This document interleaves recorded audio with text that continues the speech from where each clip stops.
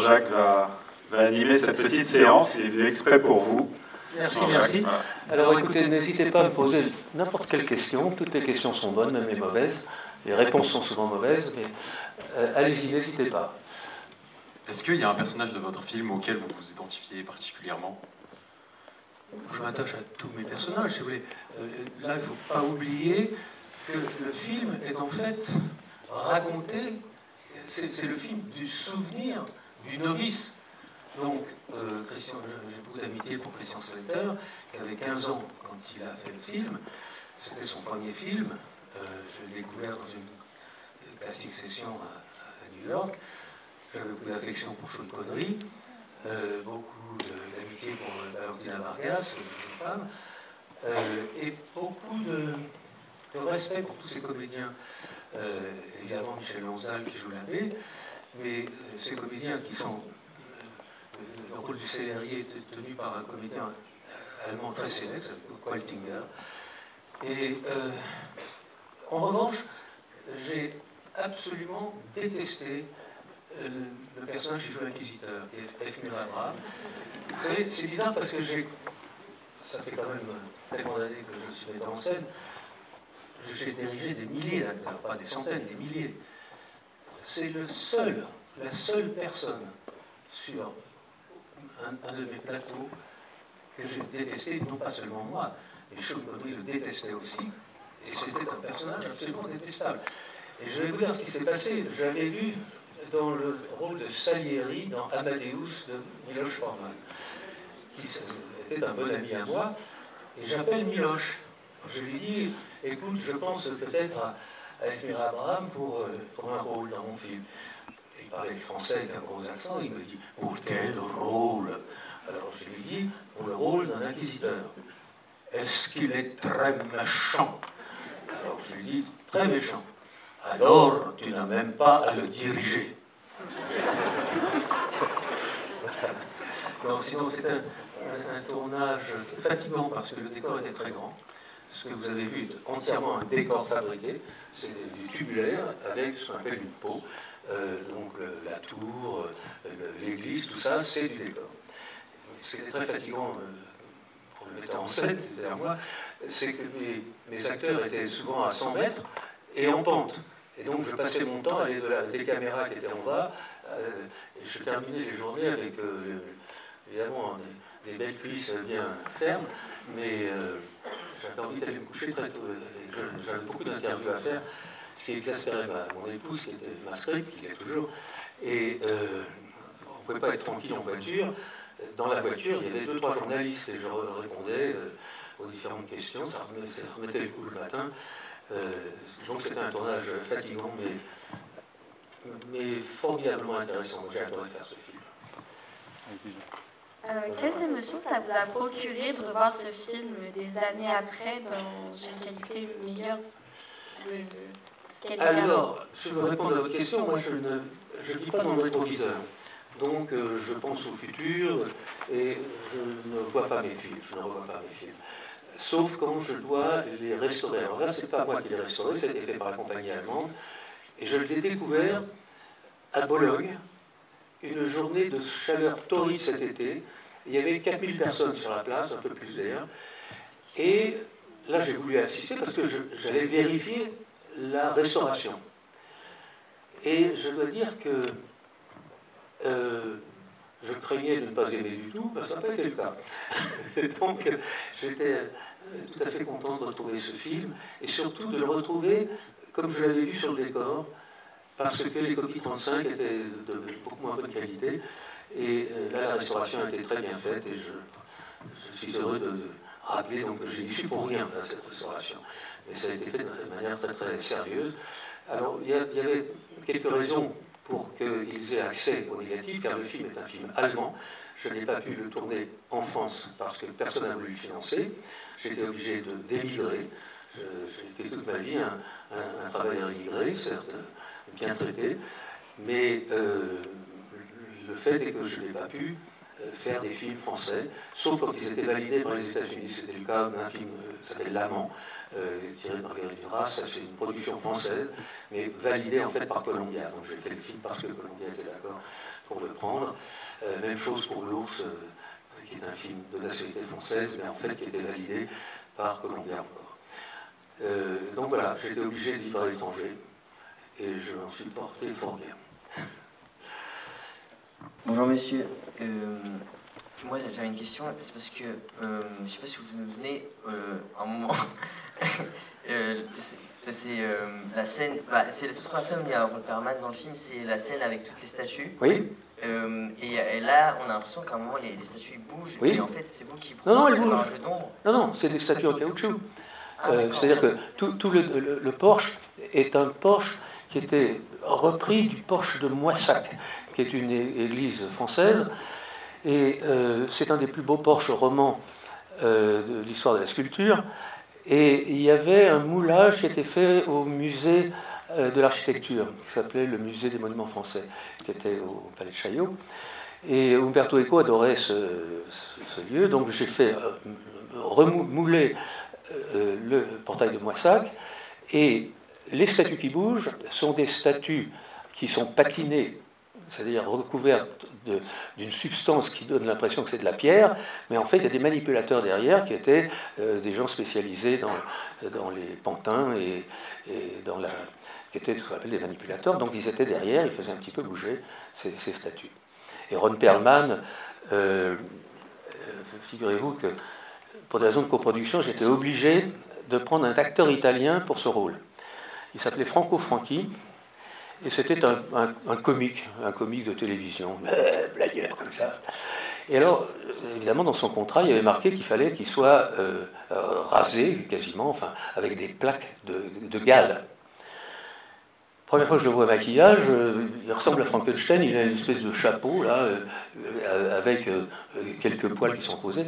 Et je lui dis, mais c'est pas ça du tout, mon cher il faut vous faire raser. Oui, oui, d'accord.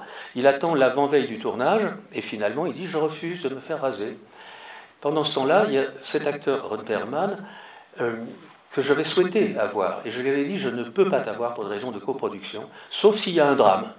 Or, ce drame arrive, c'est-à-dire que je vire l'acteur italien, j'ai le droit, puisque sur contrat, il refuse de faire son contrat.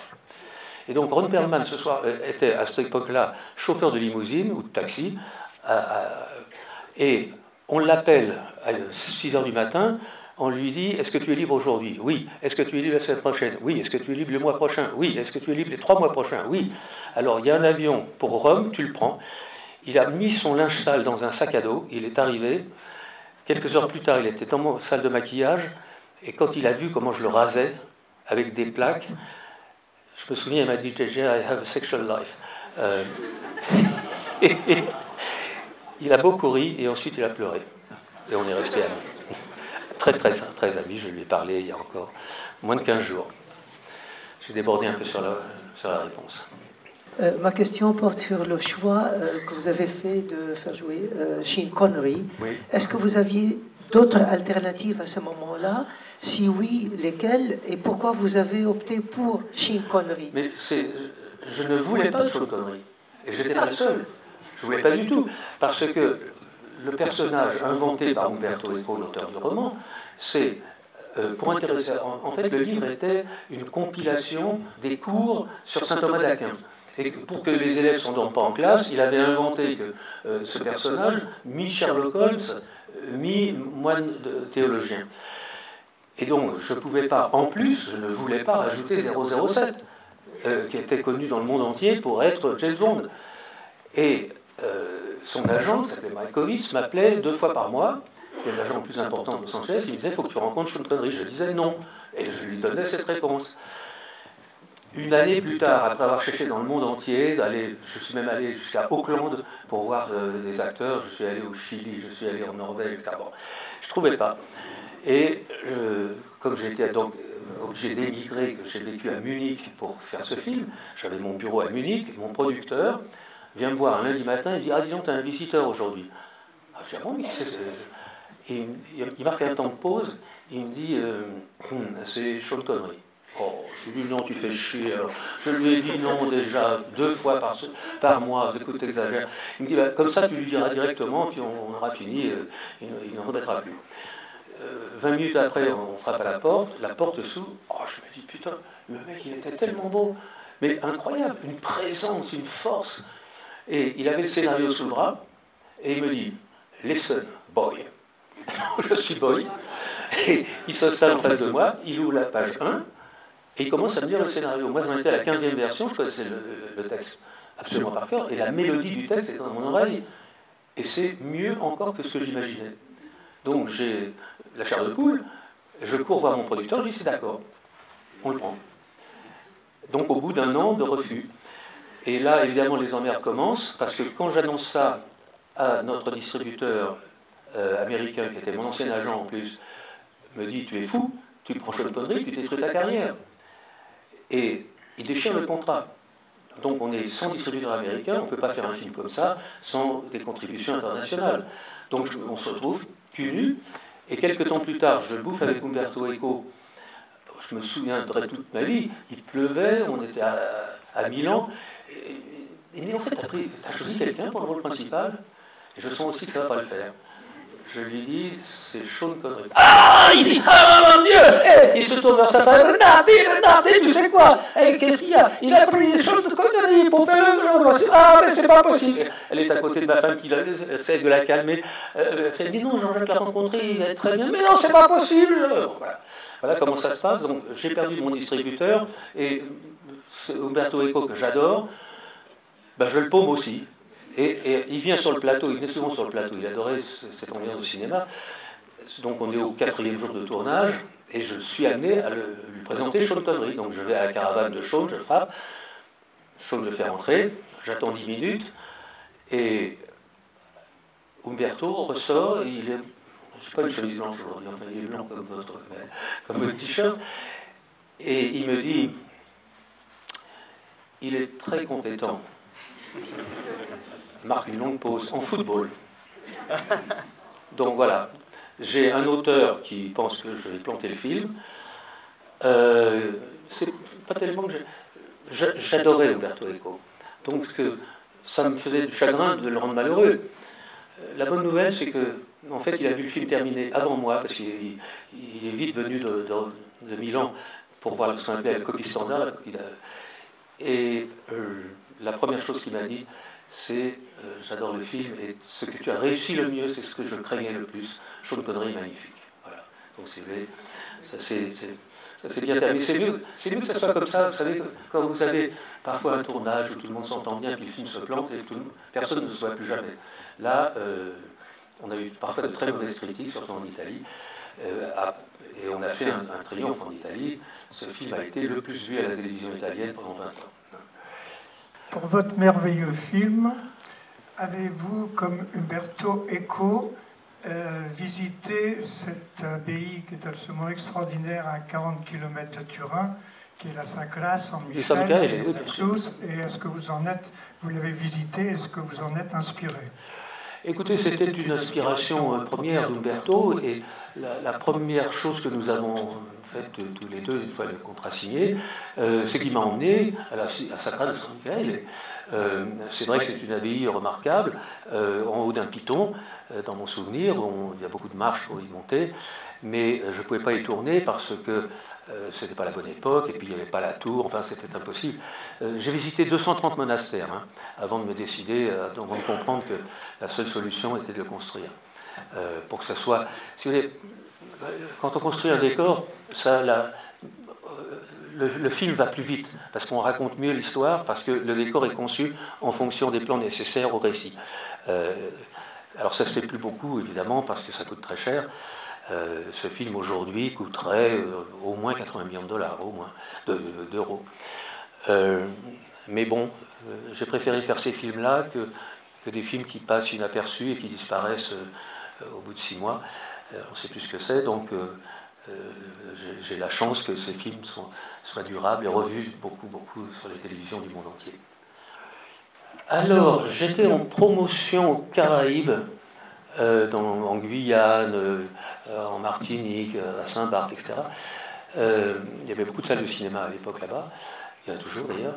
Et euh, un matin, je lis dans Le Monde un tout petit article où il était question d'un livre qui a triomphé auprès des critiques italiens, une curieuse histoire de meurtre tournant autour de la possession d'un livre en grec d'Aristote, la poétique.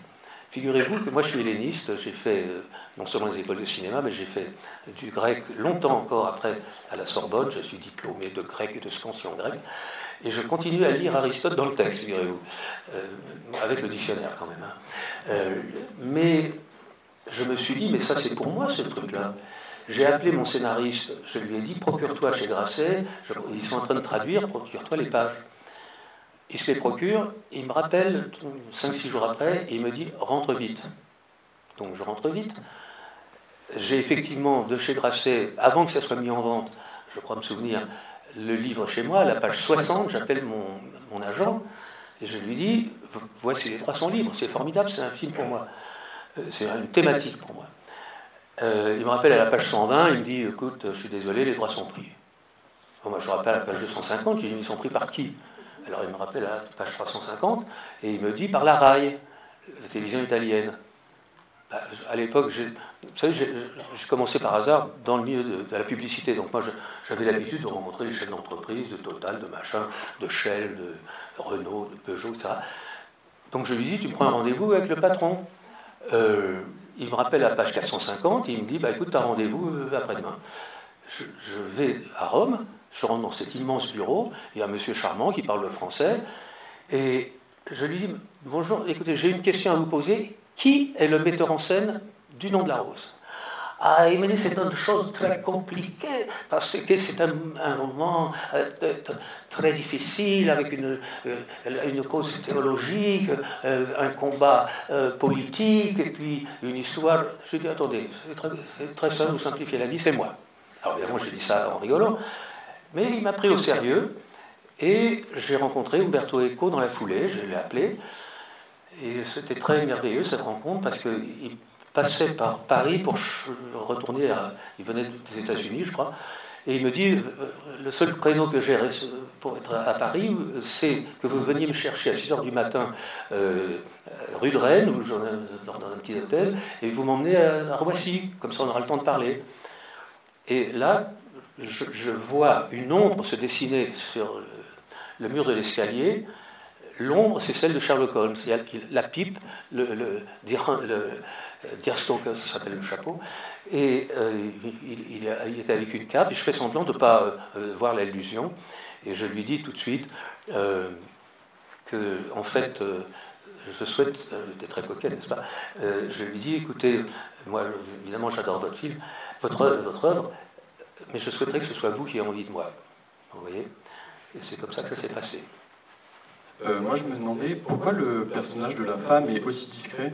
Parce qu'elle est quand même. Euh, elle parle assez peu, elle est presque muette, et puis elle est assez inactive. Et du coup, je me demandais euh, pourquoi elle n'était pas plus développée et plus présente. Parce qu'elle n'est pas le sujet. et dans le livre, c'est justement, si vous voulez, la description de l'état dans lequel était le servage à l'époque. Il faut bien se comprendre que c'est une société féodale. Et donc que le rôle de la femme était très différent de ce qu'on vit aujourd'hui, et qui n'est pas encore satisfaisant sans doute. Mais si vous voulez, euh, dans l'esprit d'Umberto Eco, il fallait montrer la richesse accumulée par ces moines et la pauvreté absolue vous savez, moi je connais très très bien, j'ai beaucoup vécu dans ce qu'on appelait autrefois le tiers-monde. J'ai vécu au Cameroun, en Côte d'Ivoire, au Cambodge, au Vietnam, etc., dans les sociétés très primitives, euh, qui sont encore dans le néolithique. Ah, c'est pas comme chez nous. Et, ça, évidemment, euh, transport dans un autre monde, alors on peut le, regretter. On peut regretter qu'on sorte de ce monde-là. Bon, oui. Euh, on peut aussi apprécier le fait que nous ne sommes plus dans ce monde-là. Mais euh, vous décrire une jeune paysanne très belle, qu'est-ce qu'elle a comme choix dans la vie? Aucun. Elle est avec une famille de misère. Euh, vous savez, il y a de très très bons livres sur le Moyen Âge. Si vous voulez lire des livres sur la pauvreté au Moyen Âge, vous n'en reviendrez pas. Regardez même les tableaux de Bruegel. C'est beaucoup plus tardif, c'est déjà un siècle et demi. Mais les, les, trognes qu'ont les gens, c'est incroyable. Mais regardez de près. C'est-à-dire qu'on on peut vouloir ignorer l'histoire. Très bien. Mais à l'époque, bah, il y avait beaucoup de gens, il, leur manquait un membre, ils avaient la gangrène, ils, avaient qu'un œil, etc. C'est la vérité de l'époque. Alors, encore une fois, on peut dire, je ne veux pas savoir. Libre, libre à vous. Mais moi, mon travail, c'est mon goût, c'est de vous plonger dans un univers qui n'est pas celui d'aujourd'hui. Mais elle, croyez bien que vous l'avez trouvée inerte, elle était très vive.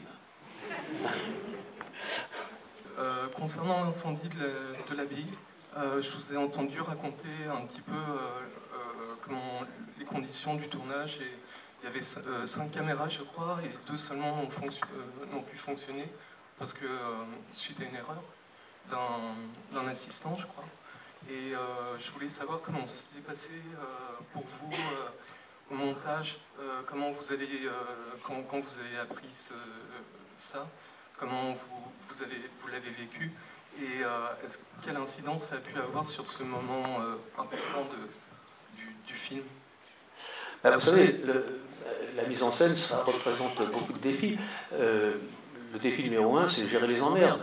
Il y a tout le temps des emmerdes, tout le temps, tout le temps, tout le temps. donc, comment vous vous redressez face à, à l'imprévu? En fait, avant de foutre le feu à mon décor, c'est un énorme décor qui fait 5 ou 6 étages, euh, j'avais pris la précaution de faire des feux localisés dans chacune des, cellules. Donc euh, ça, c'était des scènes déjà tournées. Euh, comme je tourne toujours à deux ou trois caméras, j'avais quand même déjà du matériel de feu. Mais après avoir bien réfléchi, que j'étais bien couvert pour le montage, j'ai effectivement décidé une nuit de mettre le feu à cet énorme édifice de bois qui avait été construit pour le film. Et j'avais disposé sept caméras. Euh, bien entendu des caméras en bas, et puis des caméras à l'intérieur de l'escalier et des caméras ignifugées tout à fait en haut. Et euh, quand tout est prêt, quand tout est prêt à être allumé, euh, je demande si les caméras tournent, donc caméra 1, si signor giriamo, caméra 2, si signor giriamo, caméra 3, pas de réponse. Et là, quelqu'un me dit, ben, la caméra 3, elle, est très près d'une bouteille de butagaz et on a peur que ça explose, donc on n'y est pas allé. Donc moi, je me précipite, je sais que les gars des effets spéciaux ont bien travaillé, donc je vais brancher ma caméra. Caméra 4, etc., 5, 6, 7, oui. On me dit oui, on me dit ça tourne. Bon, je donne l'ordre d'allumer, c'est une, une énorme torche, c'est magnifique à voir et tragique évidemment. Et puis, je, bah, tout le monde est content, tout le monde applaudit la scène, évidemment. Et là, je passe à côté du camion caméra et j'entends en italien quelqu'un qui dit Qui c'est qui ose lui dire? Oh putain Je monte à l'arrière du camion, je dis Qu'est-ce que c'est le problème? Et il y en a un qui se dévoue, il transpire un peu. Il me dit Ben voilà, en fait, euh, euh, la 4, la 5 et la 6 euh, et la 7, on ne les a pas branchées parce qu'on a eu peur. Alors là, ou bien certains de mes collègues prennent leur casquette et la piétinent, d'autres la mangent, euh, d'autres enlèvent leurs chaussures et fracassent les vitres. Et moi, je me dis, il bah, faut que je me démerde, qu'est-ce que je vais faire? Je vais me rouler par terre. Euh, donc, bah, au montage, ce que j'ai fait, j'ai grossi certains plans de feu de scènes précédentes. J'ai, avec les trois caméras contournées, parce qu'il y en avait une qui a mal tourné en fait, la caméra 2 était mauvaise, il y a une rayure. Donc j'ai inversé les scènes de façon à ce qu'on ne les reconnaisse pas, je les ai grossies. Et en fait, elles ne manquent pas vraiment, mais j'avais prévu une apothéose de flammes et de feu euh, qui n'existe pas dans le film puisqu'elle n'a pas été tournée. Et ça, c'est les surprises euh, parfois qu'on a sur les plateaux de tournage où des gens font mal leur travail. Quelle est la scène qui vous a le plus marqué lors du tournage? Vous savez, les, scènes les plus difficiles, c'est les scènes d'amour. Alors, euh, faire une charge de. Moi, j'ai fait plein de films où j'ai 1000 figurants, 2000 figurants. C'est très facile à faire. Euh, il faut s'organiser longtemps à l'avance, des mois à l'avance. Une scène d'amour, si vous choisissez mal les partenaires, si vous la filmez sans délicatesse, si les acteurs n'ont pas confiance en vous, ça ne marche pas. Et donc, comment faire? Bah, Moi, j'avais décidé de choisir le jeune homme avant de choisir la fille. Ce jeune homme, je l'ai trouvé à New York, il y avait, je ne sais pas, 400 mômes, pardon, adolescents qui avaient 14 ans à l'époque, euh, qui attendaient devant Central Park. J'ai vu tous ces gens et il y en avait un qui ne savait pas son texte. Et il arrive et il me dit Je suis désolé, j'ai picolé, j'ai été ivre mort et je ne sais pas mon texte. Mon casting directeur est furieux. C'est une femme, elle s'appelle Marie-Josée et elle est très en colère. Elle, dit sortez de là. Ah, j'ai dit non, non, non, non, ce garçon, je trouve très sympathique. de, sympathique de me dire ça. Il prend le texte qu'il découvre et il le lit parfaitement. En fin de journée, je dis à mon casting directeur écoute, le seul qui m'a plu, c'est ce gamin qui n'avait pas appris son texte.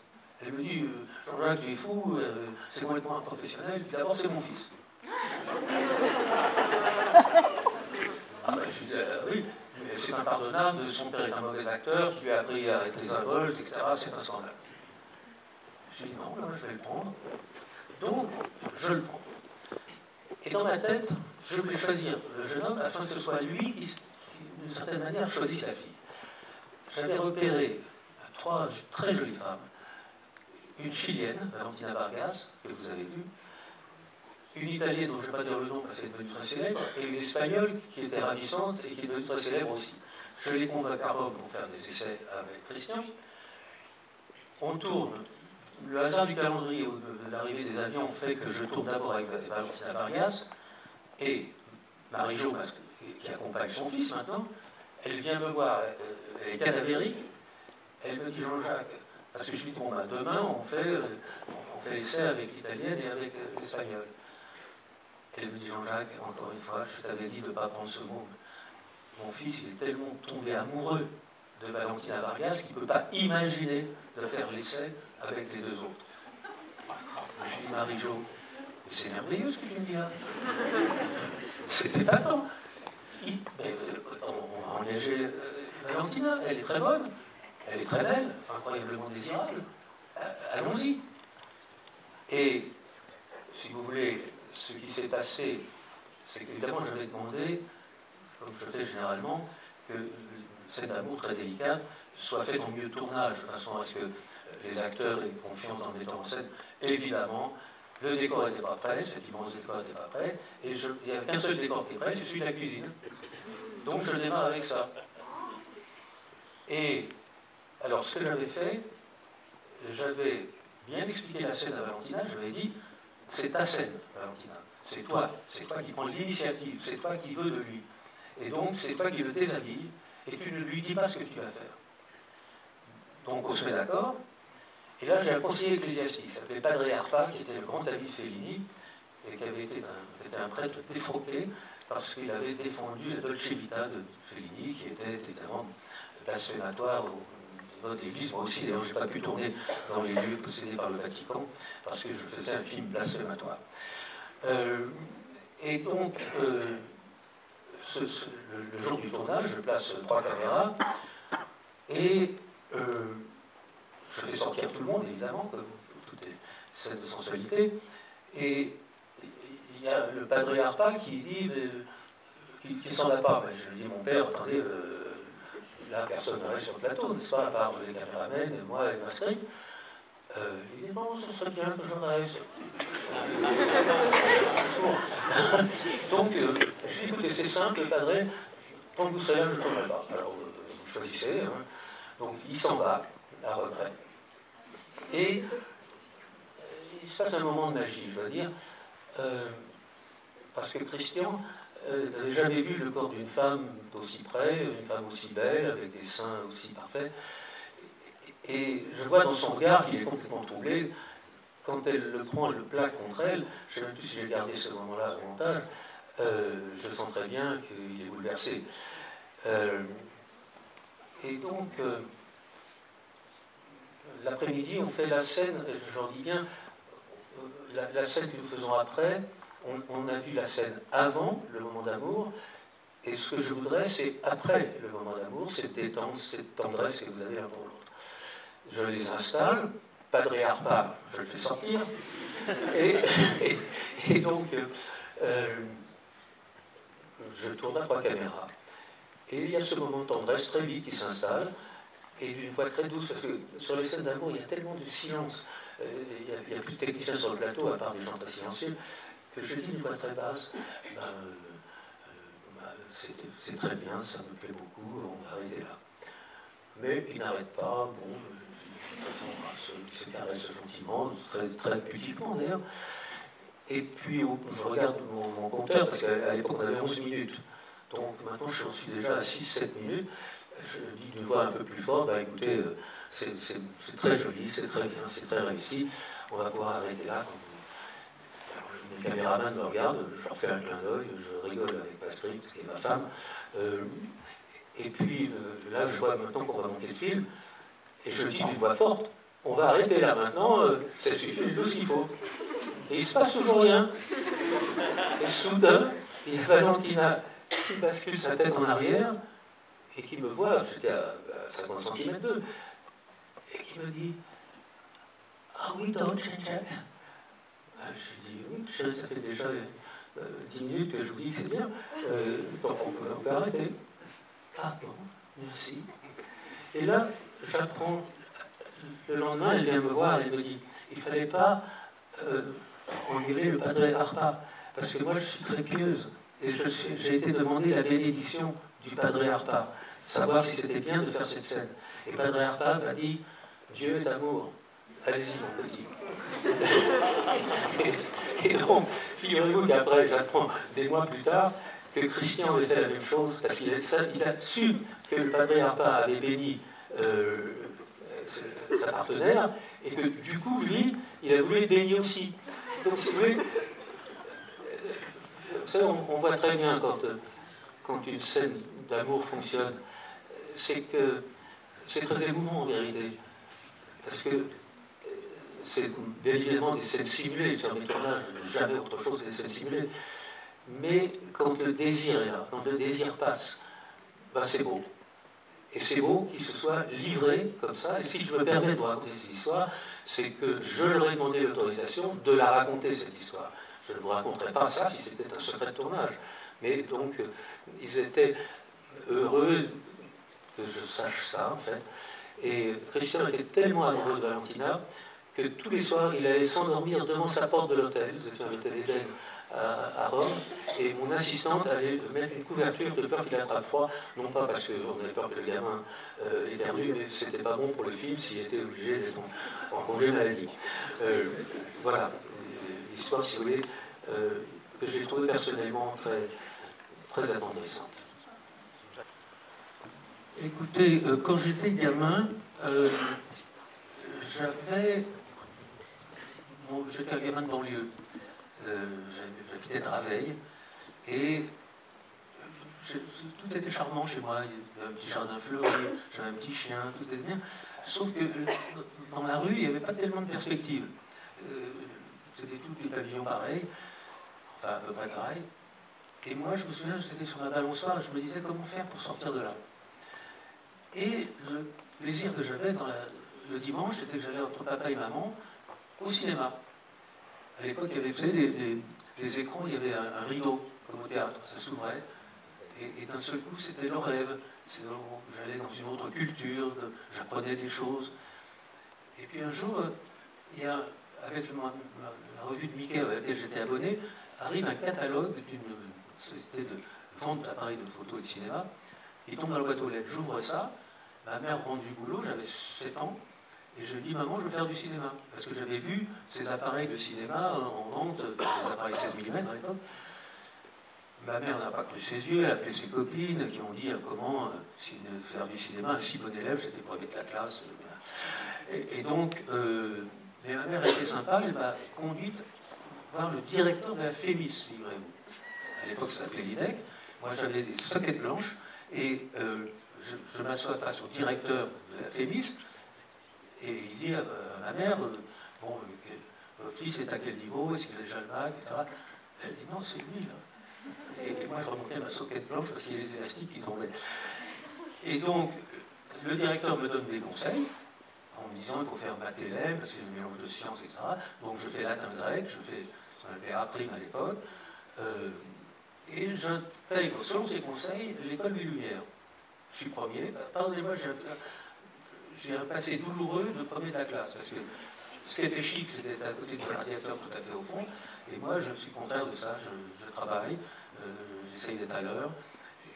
Bon, c'est pas mode, c'est pas très mode, mais enfin, c'est comme ça que je fais. Et j'ai pu donc, j'ai fait ma scolarité à Lumière. Et comme j'ai passé mon BTS avec mention bien, et que j'étais encore une fois le premier de la classe, j'ai eu la permission de faire la FEMIS en dernière année.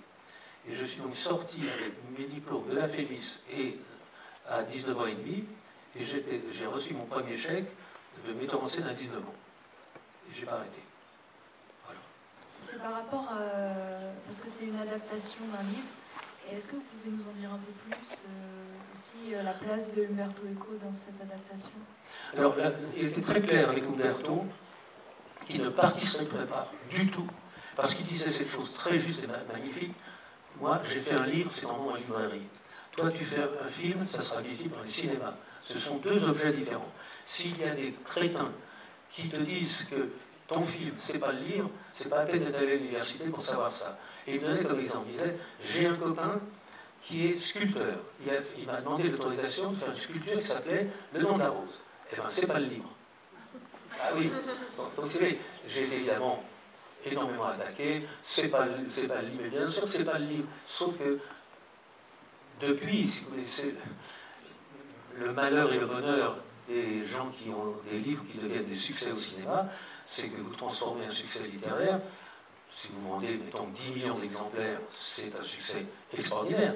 Mais nous, si on fait que 10 millions d'entrées de vision avec un film comme ça, non, faut en faire, il faut en faire au moins 100 millions à travers le monde. On n'est pas dans les mêmes chiffres. Après, on passe aux milliards de vues, parce que les gens voient à la télévision dans le monde entier. Donc c'est complètement autre chose. On est dans un autre, euh, dans un autre sport, j'ai envie de dire. On ne peut pas euh, véritablement comparer. Et donc, moi, j'ai un rapport idéal avec Umberto. J'ai fait 17 versions du scénario. J'ai usé quatre auteurs. Euh, j'ai fini moi-même tout seul. Et je me souviens, le premier avec qui on a, on a bataillé avec ce livre de 560 pages pour en extraire ce que nous décidions être la, sens, la voile du film, euh, on a fait neuf versions. Je me souviens, euh, la neuvième version, il revient me voir dans la maison de campagne et il me dit Alors, qu'est-ce que tu as pensé de la lecture? Je lui dis Il faut reprendre, il faut tout reprendre. Il s'est affaissé dans mon bureau et il a fait une scène qu'on a repris dans le film où il dit Mon Dieu, cela ne finira-t-il donc jamais? C'était une neuvième version, ça faisait un an qu'on travaillait dessus. Parce que ce qui était très compliqué, savez, le, cinéma, c'est une aventure émotionnelle. C'est-à-dire que en littérature, vous lisez des concepts qui s'enchaînent, vous fabriquez vos images à vous, et l'émotion vient des images que vous avez fabriquées. Le cinéma, on vous impose un rythme de récit, et vous, vous travaillez sur l'émotion. La réflexion, elle vient quand on tombe chez vous plus tard, en disant Ah, bah oui, on vous a parlé de ci, ça. Mais au départ, c'est un rapport émotionnel que vous avez avec les personnages.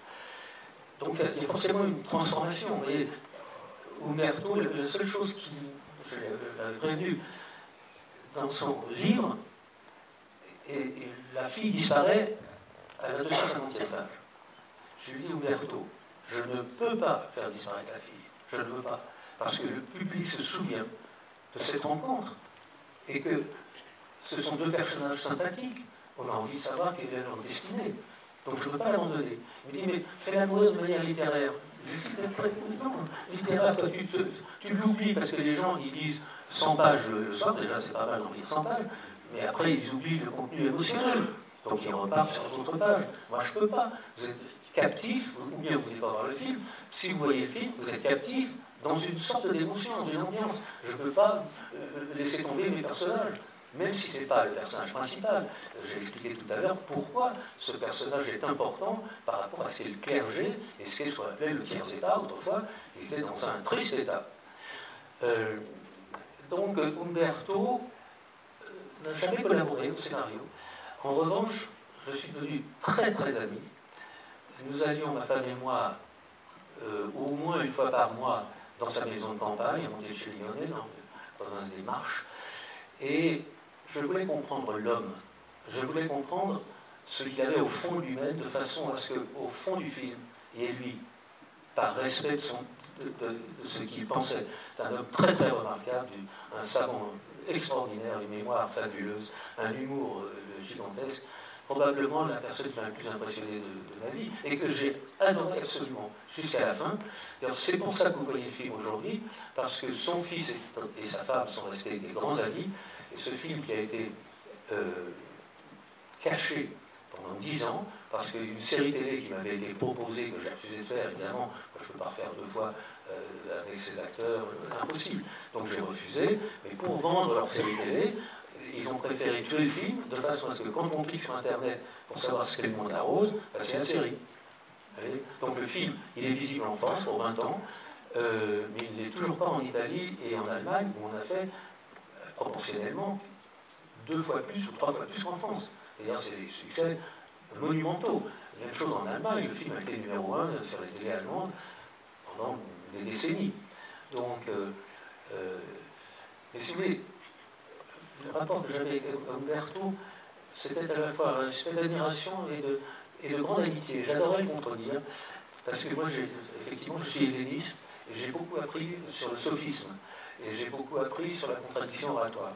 Donc j'adorais avoir des joutes avec lui, le contredire, parce qu'il disait souvent n'importe quoi, parce que tout le monde pensait que c'était la vérité. C'était Roberto Eco, il était tellement savant. Et des fois, il disait n'importe quoi, parce qu'il ne savait pas répondre. Mais il le disait si bien. Donc, il y avait un côté dialecticien que j'adorais chez Roberto. Ça a duré jusqu'à la fin de ses.